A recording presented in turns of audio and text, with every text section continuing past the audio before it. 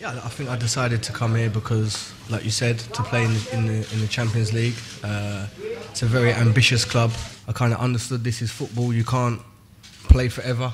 Uh, and my time was up at Chelsea, and I got a call from from my agent saying that Roma was interested. And as soon as I spoke to the manager uh, and the staff here, the way they they showed me love and, and wanted me to be here and wanted me to be a part of, of something they think can be big.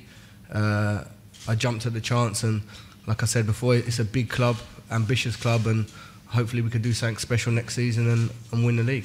It's a big challenge for me, uh, but it's a challenge that I'm, I'm ready for and, and ready to fight for my place again, uh, to get in the team, and of course to try to win something with this uh, with this club.